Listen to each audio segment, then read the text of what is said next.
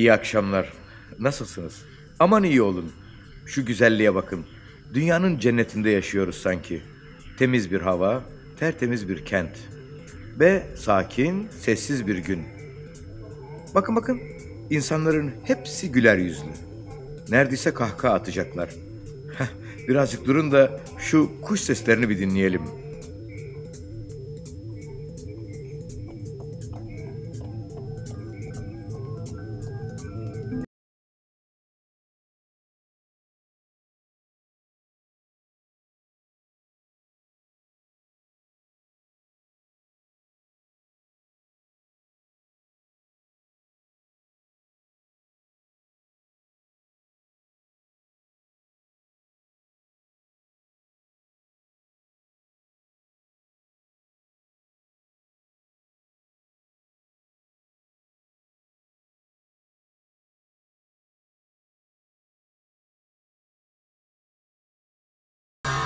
Neyse, biz neden gevezelik ettiğimizi bir açıklayalım sizlere.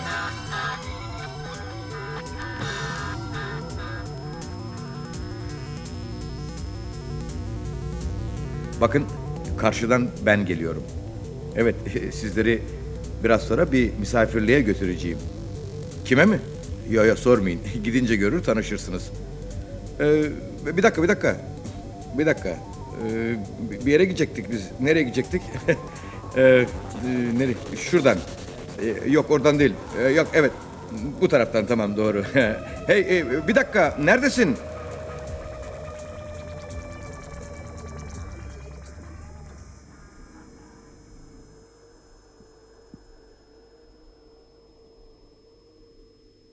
Ee, bir dakika, bir dakika, bir dakika. Şöyle dönelim biraz. Evet, evet, evet. Kentin gürültüsünden kaçıp biraz soluklanalım dedik ama daha görevimiz bitmedi. Size anlatacaklarım var.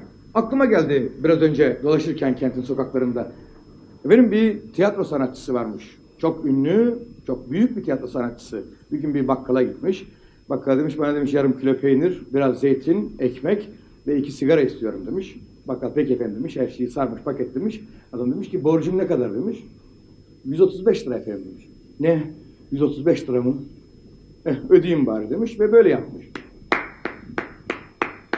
Bakkal şaşırmış. Niye alkışlıyorsunuz beni demiş. Seyircilerim beni alkışlıyorlar, böyle doyuruyorlar. Ben de hesabımı ancak böyle ödeyebiliyorum demiş. Siz şimdi bu öykü bitti diyorsunuz değil mi? Hayır bitmedi. Efendim o tiyatro sanatçısı girdi içeriye, bakkaldan alışverişini etti sonra alkışladı ya, bakkal hiç şaşırmamış. Tabii demiş. Buyurun demiş paketinizi, güle güle demiş. Güle güle deyince şaşırmak sırası bu sefer tiyatro sanatçısına gelmiş. Teşekkür ederim demiş. Tam dışarı çıkarken bakkal bir dakika demiş. Bu sefer tiyatro sanatçısı müthiş şaşırmış. Demiş beni niye alkışlıyorsunuz? Demiş siz biraz evvel alkışladınız beni 150 liralık alkışladınız. Oysa ki aldınız demiş bütün mallar 135 lira tutuyor. Ben size 15 liralık alkışı geri veriyorum. Evet sevgili seyirciler. Alkış bir sanatçının ekmeği, suyu, havası. Onu yaşatan şey. Ve şu anda yıllardır alkışlıya alkışlıya sanatını ödeyemediğimiz bir sanatçının yanındayız. Ve ben şimdi sizlere Hamiyet Yüzeses'le birlikte olmanın onurunu anlatmaya çalışacağım. Evet biraz önceki gevezeliğimiz şundandı. Ben çünkü Hamiyet Hanım'a bir çay demledim. Çayın demlenmesi bitsin. Beraber çay içelim diye. Çayın demlemesi şu anda bitti. Şimdi birlikte çay içerken sohbet edeceğiz. Siz de dinleyeceksiniz. Ee, kaç şeker Zahmet içiyorsun? oluyor Rica ederim Hamiyet Hanım. Kaç şeker içiyorsun? Efendim ben şekersiz içerim. Şekersiz. Hamiyet Hanım şekersiz içiyor çayı gördüğünüz gibi. Çok güzel demlemişim çayı. Fevkalade olmuş. Teşekkür ederim Hanım. Evet Hamiyet Hanım şimdi çaylarımızı içiyoruz. Sorularımı da ben sıralayayım. Buyurun. Benim yıllardan beri merak ettiğim bir soru var. Herhalde sayın seyircilerimiz de merak ediyorlar. Ben bir şeker aldım. Kusura Ben bakma. şekersiz içerim. Evet biliyorum. Evet. Yıllardan beri merak ettiğim soru şu. Şu ünlü sizin Her Yer Karanlık yani Hamiyet Yüce Sesi, Hamiyet Yüce Ses yapan Her Yer Karanlık şarkısını ilk kez nerede, nasıl ve ne biçimde söylediniz? Çok küçüktüm. Bir gün pencere önünde yatıyormuşum. Güzel bir ses. Pencereden başımı çıkartayım. Açık zannettim. Başımı çıkartmamla camlar boynuma geçti. O vaziyetimi hiç bozmadan şarkıyı dinledim Annem feryat figan içeriye koştu. Eyvah dedi cam kızımın boynunu yüzünü gözünü kesti. Fakat ben orada sapsağlam çıktım. Annemden para aldım. indim aşağıya. Şarkı güftelerini aldım. Günlerce onu ezberledim, okumaya başladım. Evimizin önünde bir akasya ağacı vardı. En büyük zevkim o akasya ağacına çıkıp orada şarkı söylemekti. Çıkıyordum, makbere söylüyordum. Yoldan geçenler, kadın olsun, erkek olsun, çoluk çocuk e, toplanıyorlardı ağacın altına. Beni dinliyorlardı. Ben de hoşuma gidiyordu. Galiba sesim çok güzel de. Beni dinliyorlar diye daha zevkle, şevkle okumak istiyordum ve okuyordum.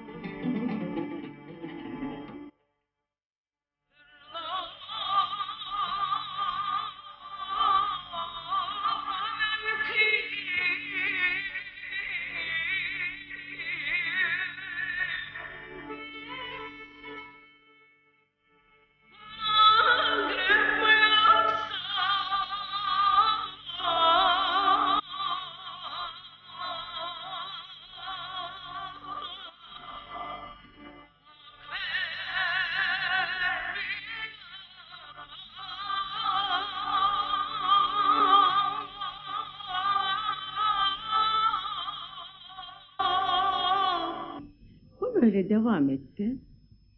Bir gün beni ağacın üstünde bir Servet Hanım var Allah rahmet eylesin. Babam da o sene iflas etmişti. Misafir gelmiş bize. Benim sesimi duyar duymaz içeriye girmiş. Kadriye Hanım demiş. Ne kadar güzel kızının sesi var. Ay, Bunu hanede yapalım. Siz de bu durumdan da kurtulun demiş. Aa babamız müsaade etmez demiş annem. Ben demiş müsaade isterim, müsaade alırım. Babama şöyle etmiş, böyle etmiş, müsaade almış. Ben dışarılara gittim. 11 yaşımdaydım. Siyah mektep göğüslüğümden gittim. Dışarılarda okudum. Ve 16. yaşımda İstanbul'a döndüm. İstanbul'dan da duymuşlar. Demişler ki dışarılarda sesi güzel küçük bir kız var. Ne yapsak yapsak da getirsek okutsak. Bir gün kapım çalındı. Bir bey geldi. Buyurun kimsiniz dedim. Yavrum ben Bonço Şevket dedi. Buyur dedim aldım içeriye. Kızım dedi. Sen dedi Londra birhanesine istiyoruz dedi. Orası en güzel birinci sınıf gazino.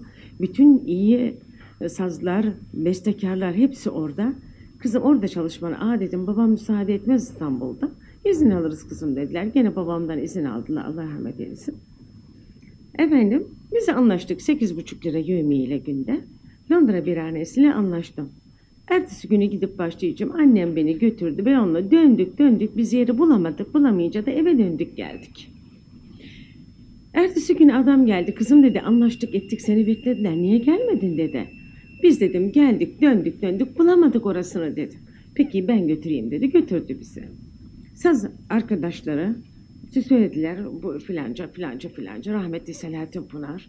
Hepsi oradalar. Kızım bir tane oku bakalım şarkı nasıl olacak dediler. Sesini dinleyelim.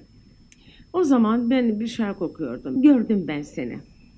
Hemen Selahattin'in hoşuna giden, gitti bir şey, hoşuna giden bir şey olduğu zaman burası "Hmm" diye burasını ısırırmış. Isır, aman efendim bir hata mı ettim dedim. Yok yavrum dedi, o kadar güzel hoşuma gitti ki ben dedi öyleyimdir dedi.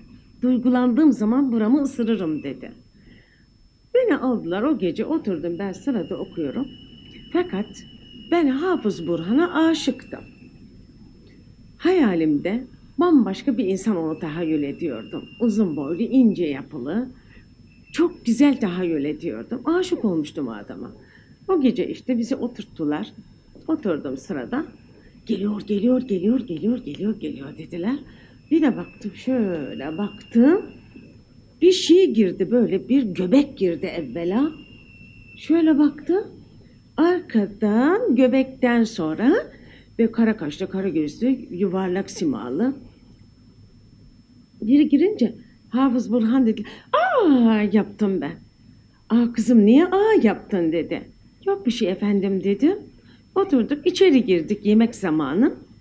İçeri girince kızım dedi niye sen dedi böyle dedi. Aa dedin beni görünce dedi. Efendim dedim. Ben dedim hayalimde sizi bambaşka dedim tahayyül etmiştim. Ve size hakikaten aşıktım dedim. Böyle dedim göbekli möbekli görünce gayri ihtiyare aa diye ağzımdan çıktı dedim. Başladı gülmeye. Gülerken de böyle hop hop hop etleri oynuyordu, göbeği oynuyordu. Evet Hamiyet Hanım, benim gene merak ettiğim sorulardan bir tanesi var. Bu geçmiş yıllara özgü bir olay. Sanıyorum ki o geçmiş yıllardaki konserlerde siz bir hayli yoruluyordunuz değil mi? Gayet tabii. Bu yorgunluk neden oluyordu? Örneğin e, gittiğiniz gazinoda bir tek şarkı mı söylüyordunuz yoksa daha fazla şarkı mı söylüyordunuz? Veyahut e, bizim bildiğimiz gibi ilk kez menajer kullanan bir kişi olarak başka başka yerlere gidiyor muydunuz şarkılar söylemek için? Gayet tabii. Gecede cumartesi pazar akşamları 10 konser, 11 11 konser olduğu oluyor. 11 konser mi? Evet efendim. Nasıl oluyor Ahmet Hanım bunu açıklar mısınız acaba?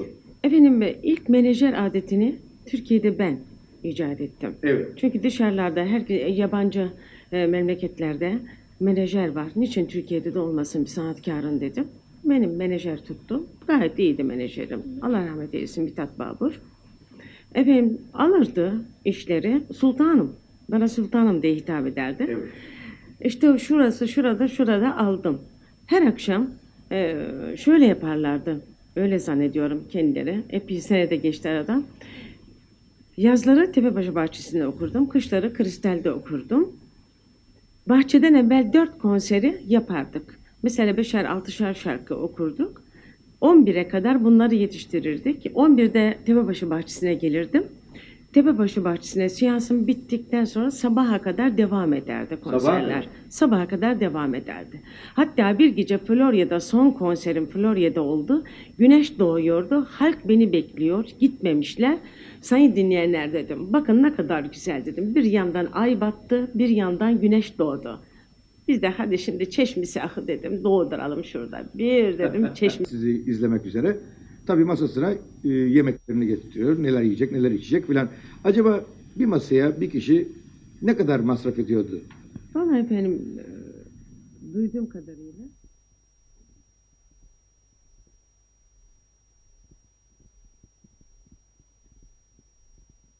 fazlaydı. Bir kişi 50 lira verdi bu orada. Bir kişi değil. 3-4 kişi 50 lira hesap ver- verildi mi gayet güzel bir şeydi. Evet. Gene de o zaman o dönem içerisinde bunu pahalı görenler vardı herhalde değil mi? Muhakkak. Herhalde vardı. Muhakkak, O sırada vestiyer ücretleri falan sanırım Evet. 25 kuruş falan değil mi Ahmet Hanım? Öyle zannediyorum. Evet. Ahmet Hanım özel bir soru sormak istiyorum. Seyircilerimizin duymasalar daha iyi olur. Buyurun. Bunca yıllık sanat yaşantınızda sahnede şarkı söylerken hiç şarkı sözlerini unuttunuz oldu mu? Gayet tabii. Oldu. Çok. Fakat sevgili dinleyenlerime belli etmemek için kendimden bir e, güfte ekleyiverirdim. Hiç Güzel. belli etmem. Bir şöyle yana dönerdim.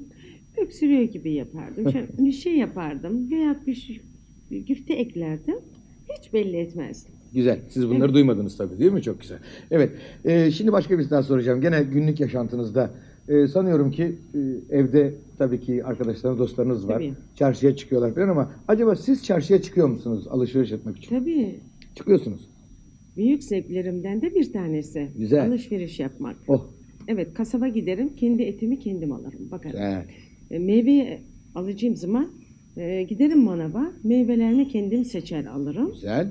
Hatta pazara çok severim. Pazara çıkmayı çok severim. Bir gün beni ayıpladılar pazara çıktım diye. Niye Ahmet Hanım? Arabamla gittim. Ablam indi pazarda alışveriş yapıyor. Bir beyle bir hanım arabamın yanındaki Allah Allah dünya tersine döndü dedi. Hamiyet Ucuz pazara çıktı dedi. Abi efendi dedim benim canım yok mu dedim. Ben de çıkarım dedim. Ben de halkın çocuğuyum dedim. Gayet Ben de tabii. sizler gibi neden çıkmayayım dedim. En büyük zevklerimden biridir dedim. Adam mahcup oldu söylediğini ve döndü gitti. Ve siz pazara çıkıyorsunuz. Gene benim so- Evet. e, çok merak ettiğim bir şey var. Hamiyet yüze, yüze ses olarak çıkıyorsunuz pazara. Tabii sizi tanıyorlar. Gayet tabii. Acaba tanıyınca sizden indirim mi yapıyorlar yoksa e, daha fazla para mı istiyorlar? E, daha fazla. İstiyorlar. Daha fazla. Diyorlar ki bu diyorlar nasıl Hamiyet Yüce Ses'tir. Değil mi? İşte nasıl oluyor bilmiyorum. Biraz daha fazla oluyor. Daha fazla istiyorlar. Mesela 2 kilo bir şey alacaksam abla 4 kilo geldi diyor. ee, bu ben ille 2 kilo olsun diyemiyorum tabii. Peki olsun diyorum. Onu da öyle kabul günlük ediyorum. gereksinimlerinizi daha fazla almış E, oluyorsunuz. evet, evet. E, daha iyi. Demek ki size yardım ediyorlar evet, Hamiyet Hanım. evet eksik olmasınlar. Bu arada araba kullanmasını seviyor musunuz? Çok 30 senedir kullanım. Hatta 35 senedir. 35 yıldır araba Evet, kullanıyorsunuz. evet. Ama siz çok sakin bir kişisiniz tanıdığım kadarıyla. Evet. E, araba kullanırken özellikle kendinizde araba kullanırken biraz zor. Hiç e, direksiyon başında böyle e, bu trafik içerisinde içinizden kötü bir laf etmek gelmedi mi çevreye? Tabidir ki geldi. Zaten doktorum derdi. Kızım böyle kötü bir anlarda çok sinirlendiği zaman içini içini boşalt kızım. Deşarj ol derdi ama Evet. içinden duyurmadan kendi kendine konuş derdi. İçimden kendi kendime konuşuyorum. Konuşuyorsunuz. Zaten çevrede Deşarj konuşuyor. olurdum. Tabii, tabii böyle oluyor. Evet. Bir de e, merak ettiğim bir şey var. Günlük toplantılara, aile toplantılarına veya dost e, çevrelerde toplantılara gidebiliyor musunuz? Maalesef gidemiyorum. İşlerinizin yoğunluğu yönünden. Ben gittiğim takdirde onların da bana gelmesi lazım. Gün vermem lazım. Evet. Öyle bir şey oluyor ki gün veremiyorum. Bir işim çıkıyor gidiyorum olmuyor. Onun için günleri kaldırdım ben. Ne güne gidiyorum ne bana geliyorlar. Ama anide işim olmadığı bir gün bir arkadaşıma gidebilirim ziyarete. O da bana gelebilir. Evet. Peki Telefon edip. yemek yapmakla aranız nasıl? Çok severim. Seviyorsunuz. Bazen akşam izinde gittiği zaman yemeği ben yaparım. Beyim de beğenir. Örneğin en Yemeği. sevdiğiniz yemek hangisi oluyor? Yufkalı kebabı güzel yaparım. Fakat çok zordur. Fakat güzeldir. Yufkalı kebap. Evet yemesi çok güzeldir. Evet, e, sayın seyirciler yufkalı kebap yapmasını çok seviyoruz. Anlatayım isterseniz. Sayın Yüce Ses. Hayır anlatmaya gerek yok. Yapın da bir akşam tüm seyircilerimizle birlikte yiyelim bu kebabı. Aa başımda Selamlar. Ee, Hamiyet Hanım'dan ayrıldıktan sonra düşündüm hep birlikte evine gidip onu yormak yerine e, ben size tarif edeyim kendiniz yapıp yersiniz. Neyi mi? Yufkalı kebabı tabii. Efendim önce bir yufka alırsınız sonra bir kebapçıdan da kebap. Kebabı yufkaya sararsınız afiyetle yersiniz. Hadi hoş